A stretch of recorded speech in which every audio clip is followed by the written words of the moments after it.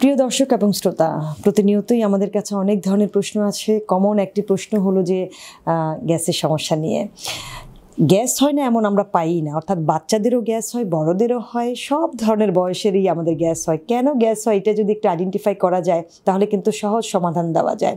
একটু নিজের লাইফস্টাইলটা খেয়াল করে দেখুন যে কখন কি খাবার খেতে হবে, কখন ঘুমাতে হবে, পানিটা কীভাবে খেতে হবে, খাবারকে কীভাবে চিবিয়ে খেতে হবে, এই বিষয়গুলো যখনই আপনি বুঝবেন না, তখনই কিন্তু আপনি গ্যাসের সমস্যায় ভুগ- ভুগবেন।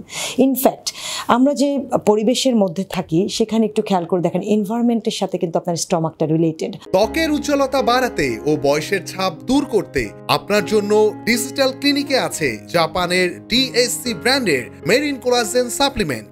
ত্বকের পাশাপাশি চুল পড়া এবং বাতের ব্যথা দূর করতে বেছে নিতে পারেন একশো ভাগ হালাল মেরিন কোলাজেন সাপ্লিমেন্ট আপনি সকালের খাবারটাকে যদি দুপুরে খান, অবশ্যই আপনি গ্যাসে ভুগবেন। তাই খাবারটাকে আপনার চুজ করা খুব ইম্পর্টেন্ট যে খাবারটাকে সকালে খেতে বলি, সেই খাবারটাকে সকালে খেতে হবে। সকালের খাবার যখন আপনি দুপুরে খাবেন অটোমেটিক্যালি গ্যাস হবে। তার মানে এটাই বোঝাচ্ছি যে অনেকে আছে লং টাইম না খেয়ে থাকেন বা দিনের বারোটায় ঘুম থেকে উঠে তিনি ব্রেকফাস্ট করেন।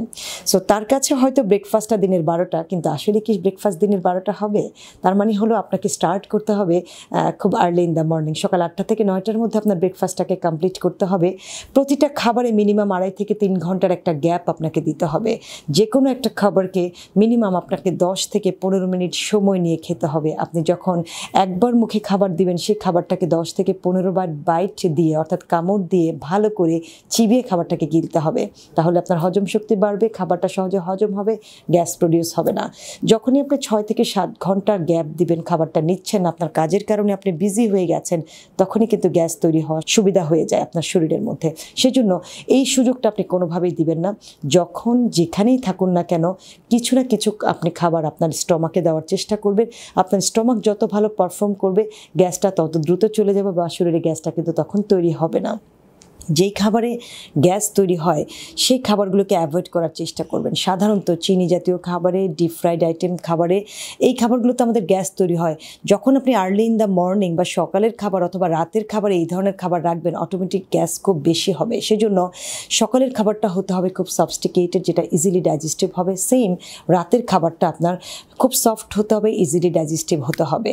দুপুর বা বিকেলে অনেক সময় আছে যে আমরা আমাদের টেস্টের জন্য ভ্যারাইটি খাবার নিয়ে থাকি, বিশেষ করে শাক বা ডাল জাতীয় খাবার বা মাংস জাতীয় খাবার অথবা ফাস্ট ফুড জাঙ্ক ফুড এই জাতীয় খাবারগুলোকে আমি সবসময় বলি দুপুরে বা বিকেলের মধ্যে কনজিউম করার জন্য। এটা যেন কোনোভাবে রাতে না হয়, তাহলে কিন্তু আপনি গ্যাস থেকে মুক্তি পাবেন। তাই এই খাবারগুলোকে অ্যালোকেট করা কিন্তু খুব ইম্পর্টেন্ট যখন গ্যাস্ট্রাইটিসে ভুগবেন অবভিয়াসলি আপনি একজন এক্সপার্টের পরামর্শ নেবেন।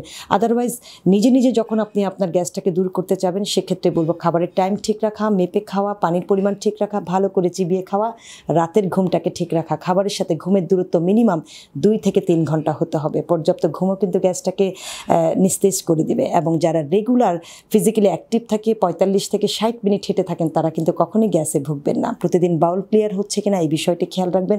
সেজন্য ফাইবার জাতীয় খাবার এবং পানির ইনটেক পর্যাপ্ত রাখবেন।